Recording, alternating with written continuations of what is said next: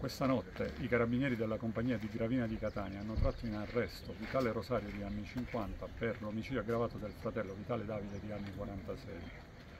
In particolare, secondo la prima ricostruzione dei fatti, sembrerebbe che il Vitale Davide si sia presentato a casa del fratello Vitale Rosario minacciandolo con un coltello. Di contro il Vitale Rosario ha aperto il fuoco con una pistola illegalmente detenuta, uccidendolo.